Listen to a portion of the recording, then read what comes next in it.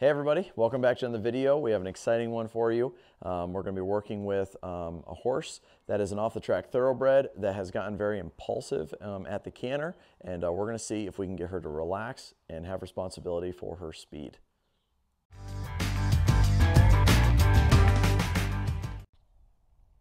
So let me give you a little bit more background um, on this uh, thoroughbred. So she was raced until she was seven. She had a pretty successful racing career.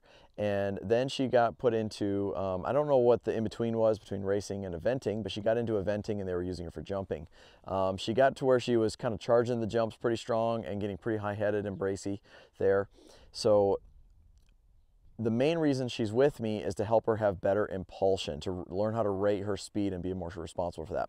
Now, when we were playing with her on the ground, we noticed she had this similar issue. It was hard for her to stand still. She would want to react and bolt through gates. So we decided to take a few days and get, get her uh, to be more responsible and understanding things on the ground first. So we've been doing that. If you'd like to see a video of, of one of the training sessions with her on the ground, that's on my Patreon page. So now we're going to be doing our first ride with her under saddle. And in this ride, I decided to take the snaffle off of her and put her in a rope halter. And the reason we did this is she's going to have a lot of history of pushing through the snaffle, kind of bracing her head up with that. And I'm hoping to, now that we're going to be riding her with a little different style, a little different feel, I'm hoping to bypass some of that previous language and history by going to the halter instead of the snaffle. We will be getting her back into the snaffle, um, but we're going to take as many rides as we need to until she understands um, some of to have responsibility for her speed and direction on a loose rein. So let's jump into that first ride and we'll show you how it went. We've warmed her up on the ground, trying to get her to think, doing some side passing, doing some circling. We did bring her life up a little bit at the canter, which kind of gets up that impulsion that we really need to work on. And um, I feel pretty good about where she's at standing still. It's a, it's a windy uh, Monday. Um, it's, a, it's a windy day, and so the horses are apt to be a little more fresh and, and kind of kind of nervous today. But overall, I'm pretty happy with where she's feeling, and I feel like it's a good day to ride her for the first time. Um, there is one more uh, check that I'm going to go through that I just wanted to share with you guys because I thought it would be a valuable thing uh, to show you. It's a pre-ride check that I like to do with them. And uh, what I'm going to do is I'm going to put my lead rope on the other side of her. And, uh, and then I'm going to put over here. And I'm doing this, a big part of this is because I'm going to ride her with the rope halter. I'm not going to ride her with the bit. All of her previous riding experiences were with a bit. And so I'm trying to get to her mind, okay? And so if I start to control her with the bit, it's going to feel very similar to what what's uh, kind of been going on in the past. And what I want to do is ride her with the rope halter because I think it'll bypass some of that. And I think there might be some already built-in anxiety from the bit because of her having her life up when, when she was being controlled with the bit. So we're going to start it without the bit. We are going to reintroduce the bit, but we're going to do that after we have some, some good communication with her, okay? So we're going to start off making sure she gives to this rope halter well. So I'm just going to put a little feel here. Yeah. And uh, yeah, that's what I was wanting to see right there.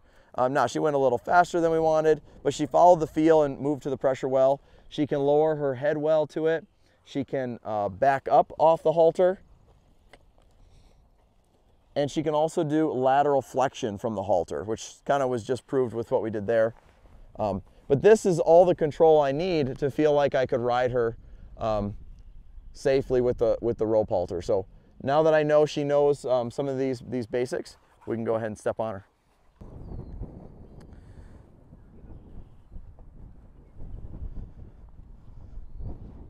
Okay, so this is our, our first ride on Flo here, and uh, we've gotten her a little more settled on the ground.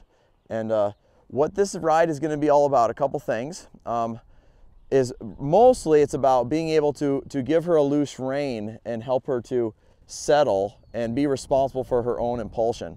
You can see just putting up a little feel here, her first thought is that head up. So when I make contact with the halter, her first thought is to brace into it um, and not to give. And so I don't have a lot of control physically in a rope halter, but the idea is that I'm gonna get some control over her mentally and emotionally through um, leveraging kind of body position. So like doing things like this where I yield the hindquarters and then also the feel and timing of releasing when she's mentally soft versus just trying to control her physically with a bit. Um, and again, she has, uh, just from some of the pictures and videos I've seen, um, she's kind of gotten where she, she kind of pushes through it. And I think there's going to be a lot of emotions associated with the bit. Again, I haven't ridden her with the bit, but that's why I'm choosing to go with the rope halter. I'm trying to bypass those things by having something different that she's not, not used to. And um, just get, establishing a starting point is what I'm trying to do, where she can be responsible for her speed on a loose rein. That's the name of the game. We'll start off at a walk and at a trot, and then we'll build it up into a, into a canter. And so it's just going to be a lot of approaching and retreating where we kind of ask her to go.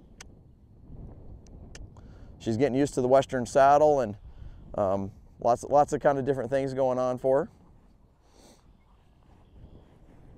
But so far I'm liking how this feels. I can trust her on a loose rein here at a walk, which is good. And I'm gonna keep checking in with her. I don't wanna totally disconnect with her, so I'm gonna give her a loose rein, kind of let her go here, and then um, we'll pick up a feel and, and kind of redirect her. I don't wanna, um, it's like, you know, I, I wanna start off at the shallow end of the swimming pool. I don't wanna put her into the deep end right away. I don't wanna make it too hard. Um, and so if I just completely went, well, just give her a big loose rein and just let her cruise around until she chooses to go slow. That would be way too big of a puzzle and she would be wrong for too long. And so by me just checking in with her and, and changing directions or asking for a hindquarter yield, um, this again, it kind of gives us a, gives us a starting point with her. Um, one of the things I want to get to as soon as we can is asking her to lower her head. So I'm just kind of checking out, trying to see if she was looking and chewing there or kind of what that meant to her when I'm bending her here. But I like how responsive she is to the halter. This is good.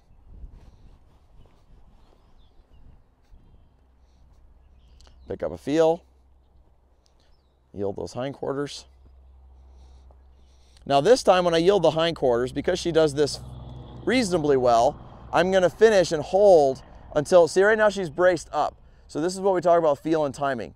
So the timing is right there. So she yielded her hindquarters, but then she she settled and then she relaxed. So so it, it's not enough to just control a horse's body. It's the feel is like how much pressure did I put on? How quickly did you get there? What part of her body did you ask control? That's all kind of wrapped up into feel, which makes feel hard to teach.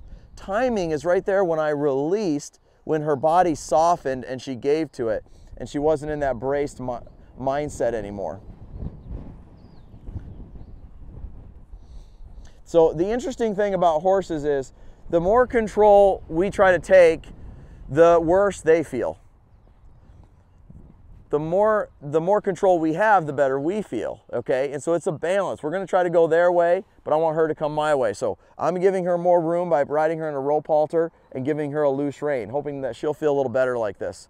But I'm hoping she'll come my way a little bit and allow me to control her body in different positions and mentally kind of just soften and relax. The same thing, the head is kind of up right now. So I'm just gonna hold with my leg and my rein and wait, wait for her to soften right there. So you're just kind of get, just get softer. That's what I'm looking for. I don't like the little rooting with the nose. I'm just gonna observe that. You can't tackle every behavior in the first go. You gotta chip away at it. Um, and so we're gonna, we're gonna not worry about that right now. I'm just, I'm gonna focus in on loose rein and head going down. That's, that are, those are my two main objectives here. The other thing is I'm gonna focus on her lowering the head in what we would call a yes question. And what I mean by that is uh, on a, on, when I'm going forward here, if she gets her head up, I might not be able to ask her to put her head down. But if I bend her and disengage the hindquarters, I probably could get her head to put go down. And so that's where I'm gonna put my, my focus uh, when I start doing this. So let's go ahead and ask her to trot a little bit here. Kind of see what we got. We're just gonna trot a little bit. If it feels good, we might go with it. If it gets a little, if it gets a little rushy, we'll bend her down. That was good. Yeah, I like that one.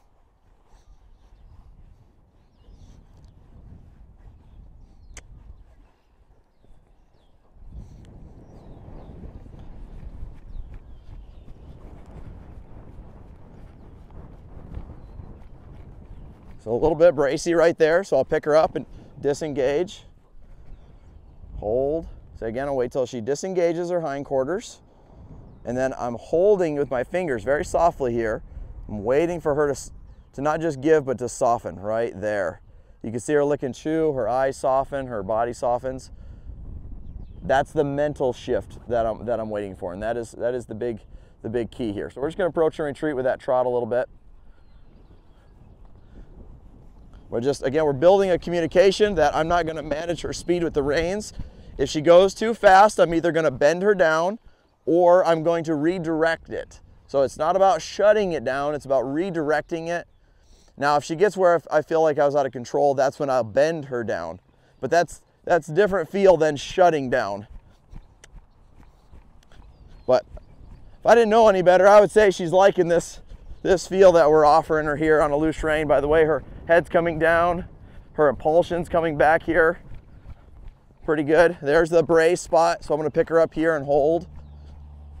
Hold. I'm gonna wait for that to soften because I need to practice this anyway. So that just kind of gives me an opportunity. You know, I could just carry on and kind of let that go because she wasn't going too fast or any, anything like that. But it just gives me another chance to go, hey, let's be softer to this. Let's give. We'll just keep approaching and retreating.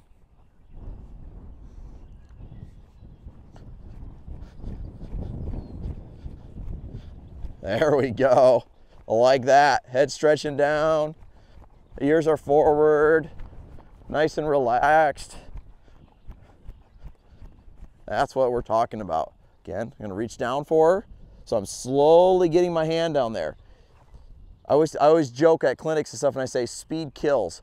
And what I mean by that is when you, eh, when you go fast with a horse, that's when you have the opportunity to scare them. And so a lot of times it's a misunderstanding with people that I think it's the amount of pressure that was there that scares them and really it's how quickly you got there. In other words, you don't have to put very much pressure on to scare them if you do it quickly. So uh, one of the things I'm kind of saying, I find myself saying a lot is slow your hands down.